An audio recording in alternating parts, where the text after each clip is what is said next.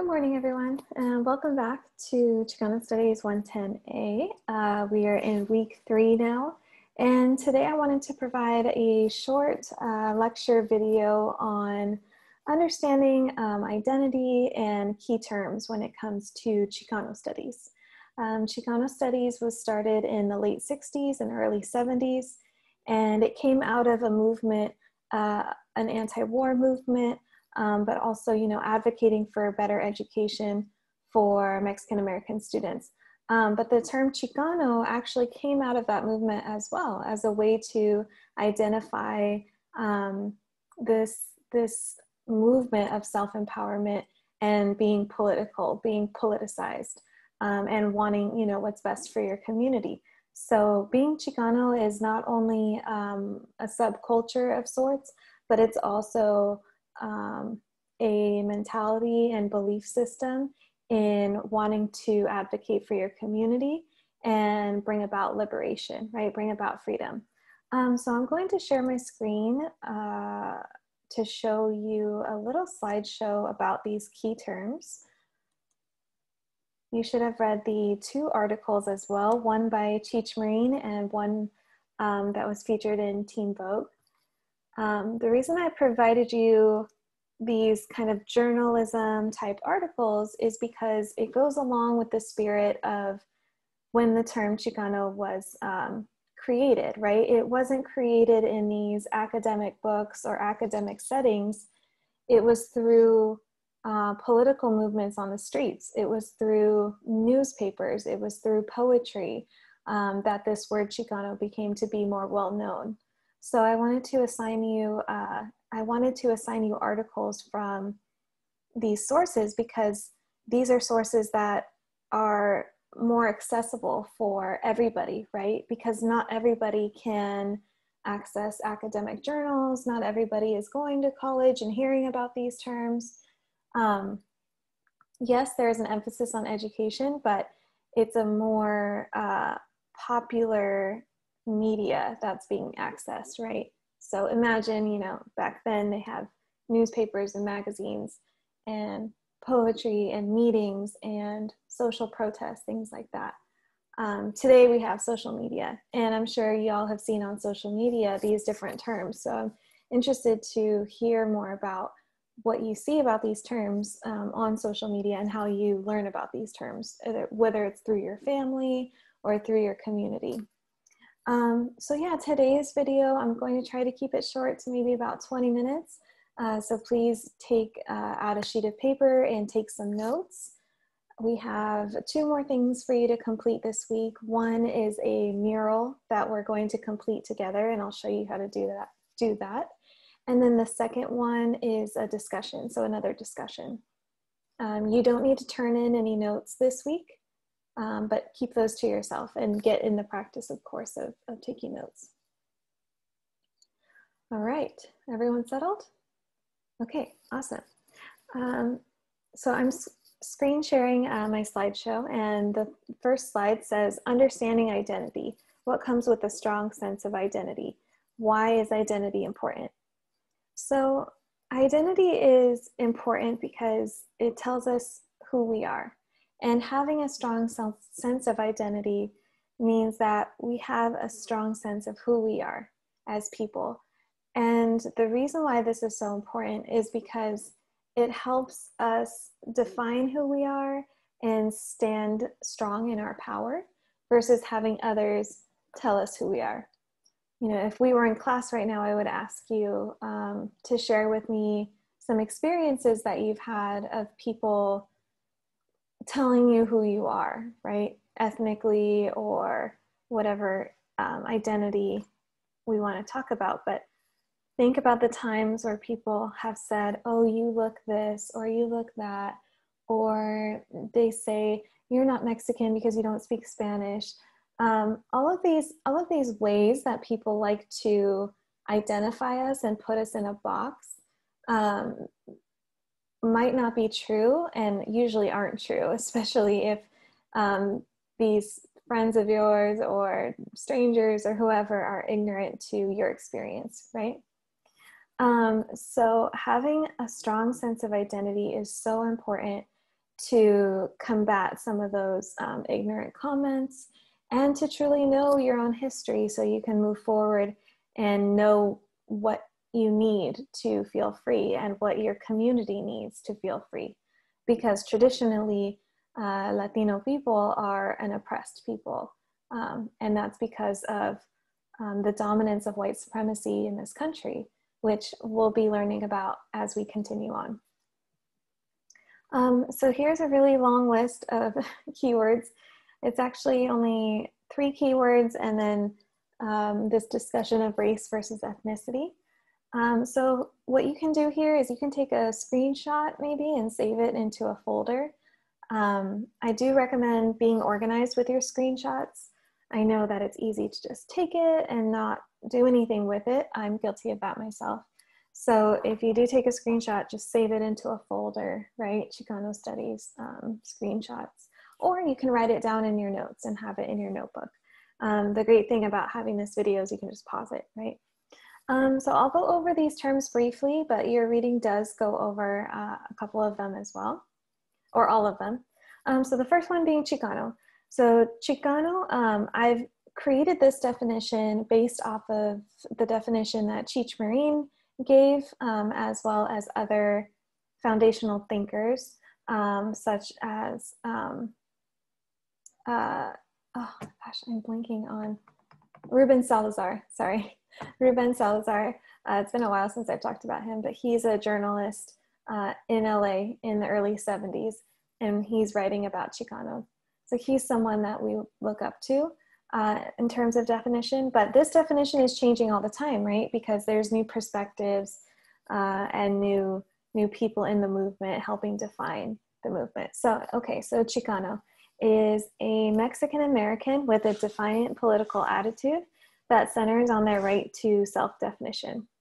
Being Chicano is the right to self determination. So, this um, definition incorporates the fact that yes, it's about being a, a Mexican American, but it's about being a Mexican American who knows um, their history and their political identity in the United States. Um, and I put defiant because traditionally the Chicano movement is defiant. Um, there is protest and there is speaking out against um, the dominant oppressor, right? And speaking out against injustice. Um, obviously, not every Chicano uh, ha- has this mentality or is, you know, an activist or anything, right? It's more about like embodying um, embodying the fact that you know your history and you know um, what self empowerment feels like. And I think we all want that. So that's super important aspect to this. Self determination, what that word means is the right to determine who we are, the right to determine um, what we look like and what we see in the world um, beyond what Americans, uh, US Americans tell us we should be, right? So the right to self determination means that we have decided what our world should look like or we, what we want it to look like um, without the pressures of Anglo American culture, right? White American culture, without the pressures of having to fit in, without the pressures of having to speak English, um, all of those kinds of things. So it's the right to determine who we want to be as people.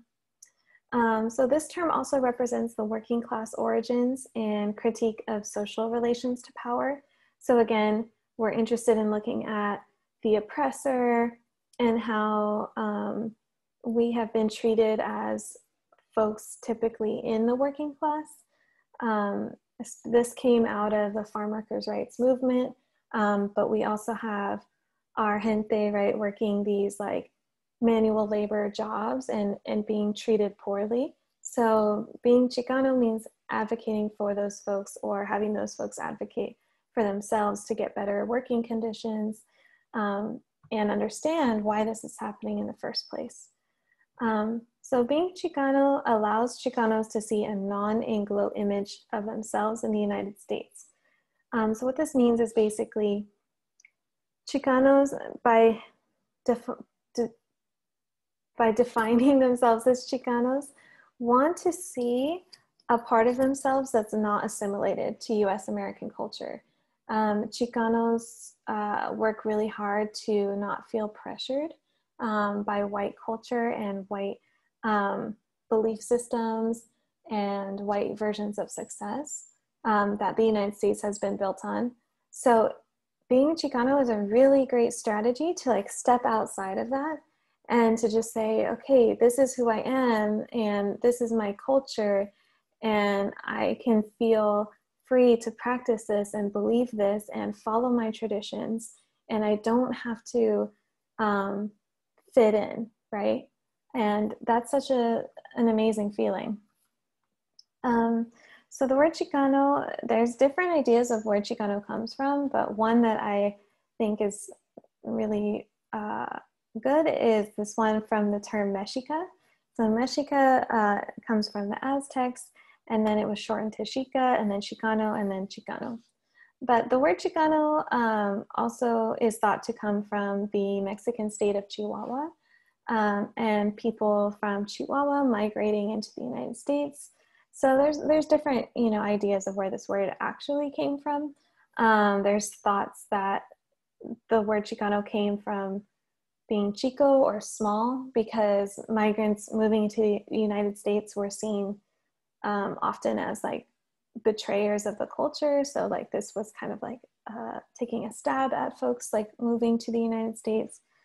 Taking a stab meaning like meaning to offend. Um, Okay, let's move on to the word Latino. So Latino is adopted um, by the United States. So what that means is that this word Latino, eh, how it's used in the United States, is different than how it's used um, in, in other places. And so how we use it here in the United States is it's used to define people of Latin American origin.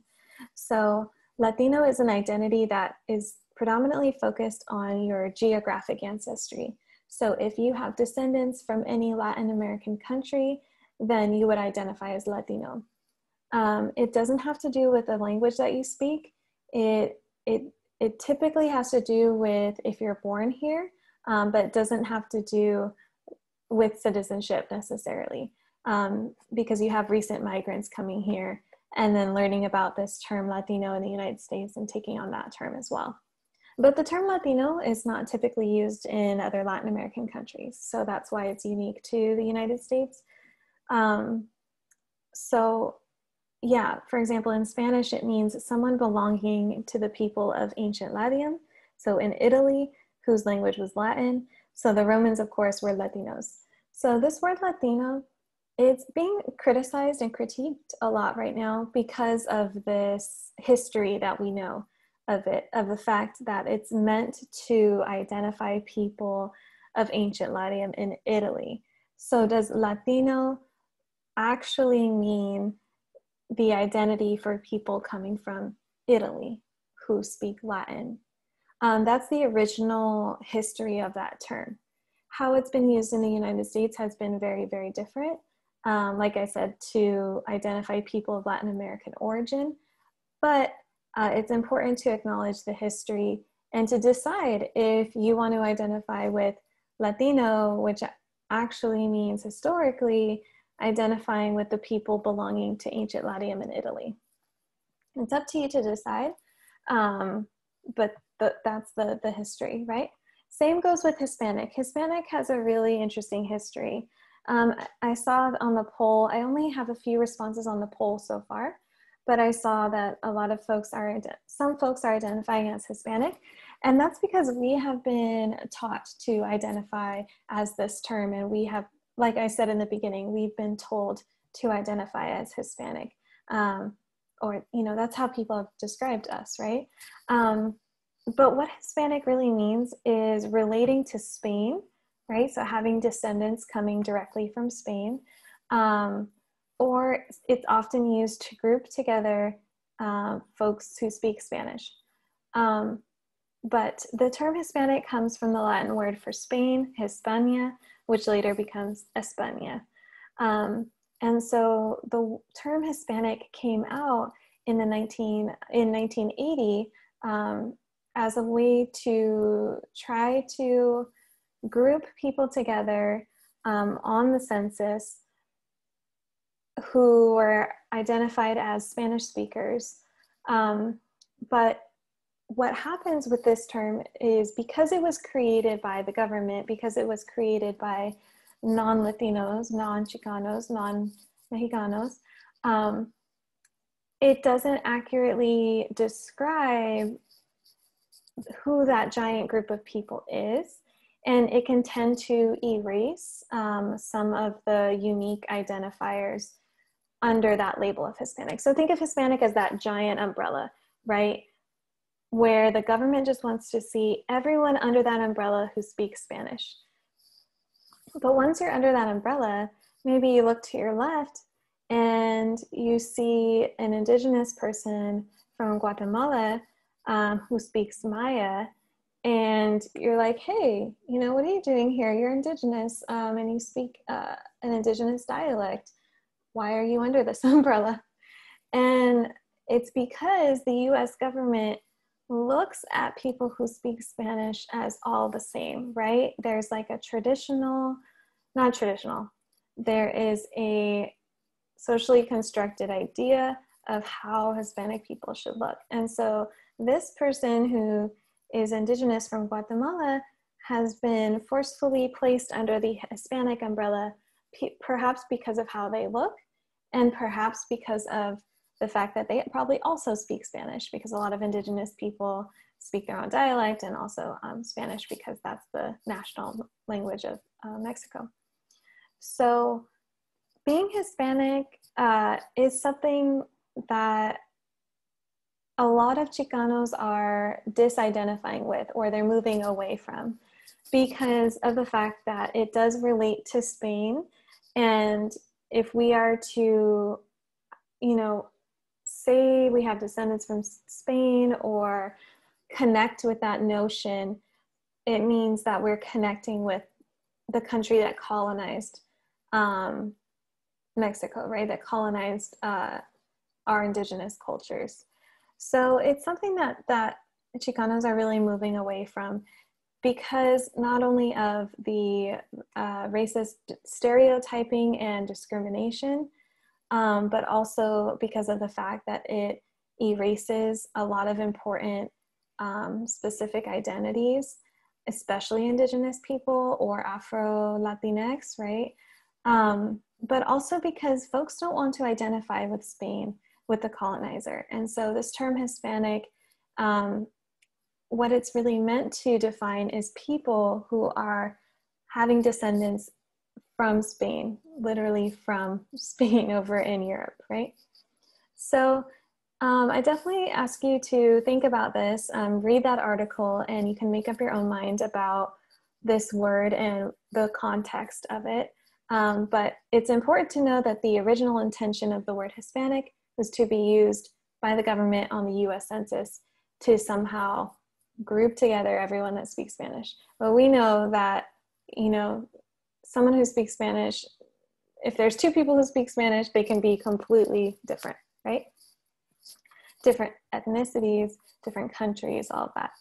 Okay, and lastly, we have race versus ethnicity. So this is a conversation that will continue as we move forward. Um, but it's important to know that ethnicity is the word that we want to use to describe um, common traits of a particular population, common heritage, um, or culture, including a shared language, genetics, or history.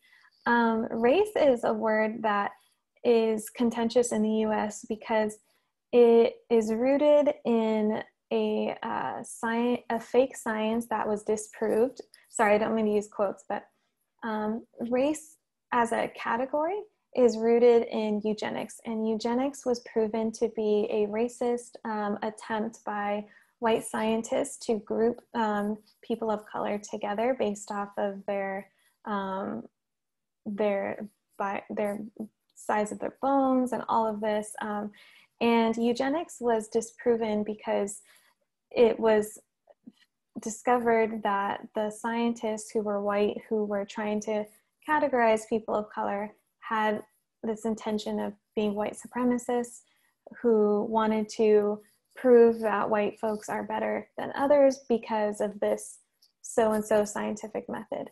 Um, so I definitely encourage you to research a little bit more about eugenics and learn about that.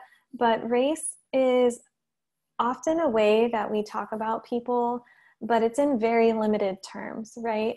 So white, black, Asian, like it's very, very limited. And so in this class, we really want to focus on ethnicity because ethnicity more accurately describes people from a specific country, um, people from a specific town in a specific country, and the dialect and the culture and everything that they share. So it's really important for us not to overgeneralize, and it's, it's more important for us to be specific and say, what ethnicity are you and, and where is it from?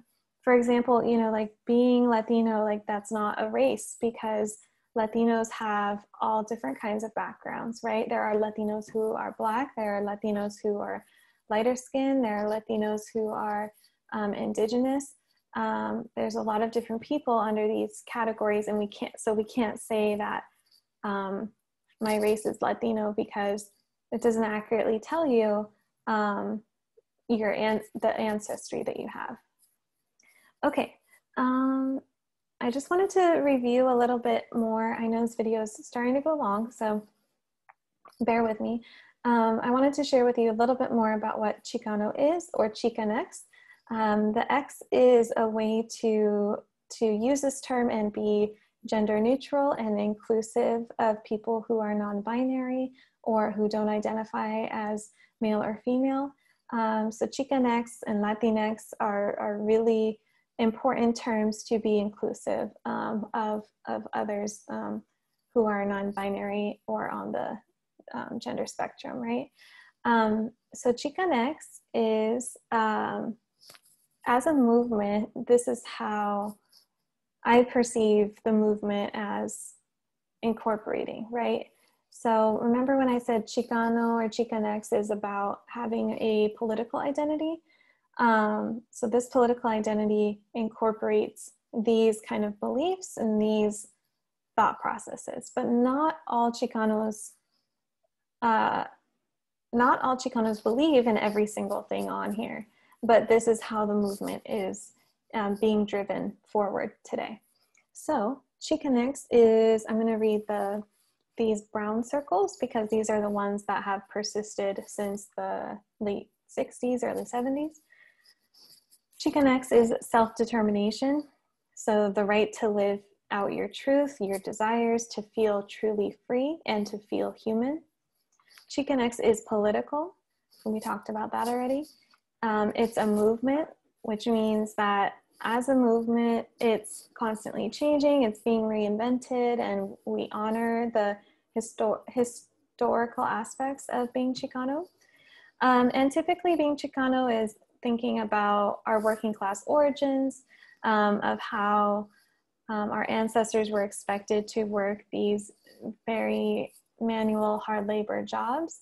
Um, and being Chicano means that there's a legacy of having this, this working class origin. Um, but today, it's also about the empowerment of women in the community. It's about it's going it's a, it's about um, going against gentrification, which means when you have people not of your community starting to come into your community and raising the rents and increasing the prices for things, changing the overall culture. It's happening in Barrio Logan and Sherman Heights, um, traditionally Mexican neighborhoods, Mexican American neighborhoods um, that are now being gentrified and, and um, occupied by people who are not Chicano. Um, Chicanx is inclusive of queer folks, gender non-conforming, and more.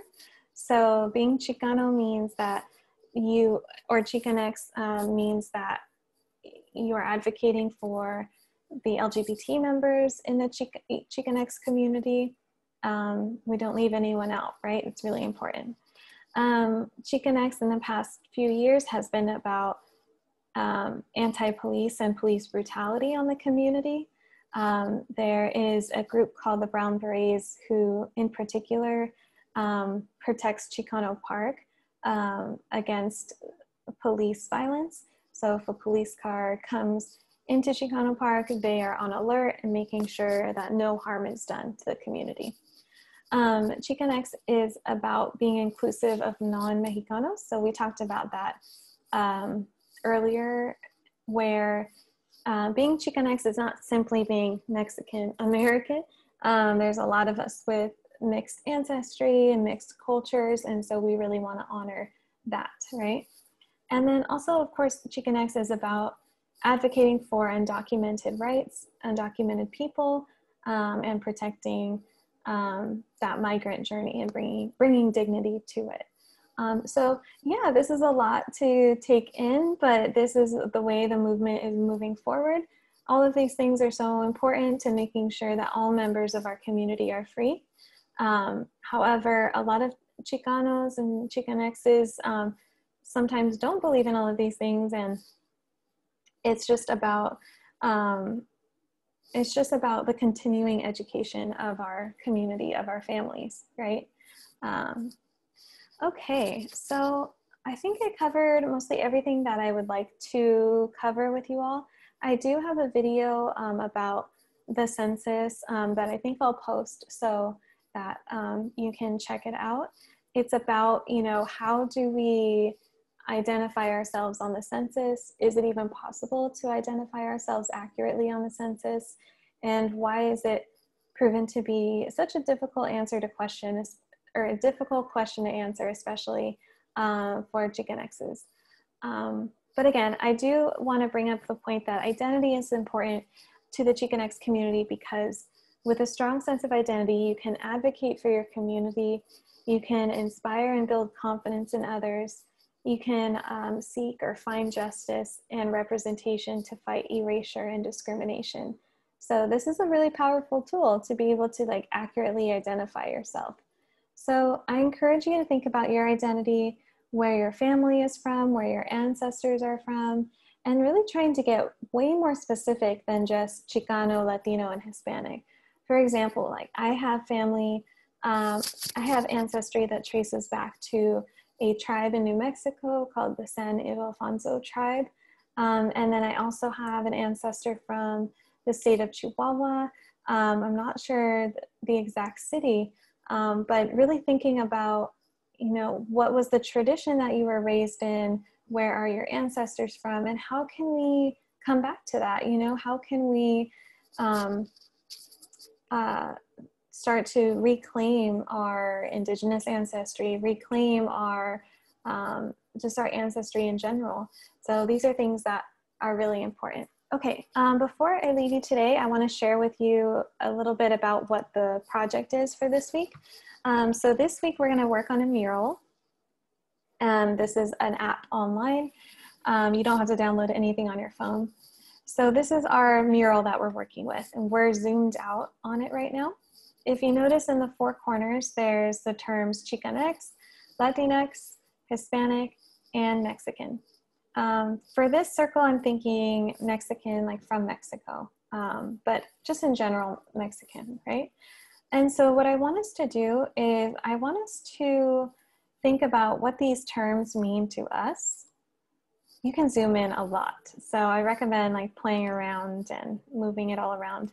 Um, but this is the prompt. What do these identity terms mean to you? What have you learned about these identity terms? So what I want you guys to do is to put in a picture or write some text and uh, create one picture or artistic depiction as well as a definition for what you understand these words to mean. Um, so this is really just about thinking about what you have learned about these words. There's options here to put in um, pictures. I'm not sure, oh, I don't think I can add pictures right now because I'm uh, sharing it with you all. But you can add pictures, you can draw things. Um, there's sticky notes here to leave um, text responses. Um, but I don't want you to just copy the definition that I gave you on the slides. I want you to describe to me what you think it means and just a reflection about what you think these terms mean. Um, so there's a lot of room on here for you all to express yourself. Um, you can zoom in, right? You can zoom in pretty far and add little um, post-it notes over here and add pictures, like I said. Um, remember to leave your name so that I can give you participation points. And yeah, just be creative with it, you know. There's, I've done this experiment before where I've Googled the word Hispanic and I've Googled the word Latino, and then I'll put the picture in there of what those Google, um, what the Google uh, response tells me because it tells you a lot about how Hispanics are seen in the US, how Latinos are seen in the US, and the way that these identities kind of glaze over all of our amazing um, differences, glaze over our indigenous background. Um, so yeah, I encourage you to go in here, play around with it, and just reflect on what these terms mean to you. Um, I, I would love to see pictures and I would love to see your reflections on what these words mean to you. All right, good job today, you all. Thank you um, for your attention and good luck the rest of this week um, with the rest of your studies. All right, take care.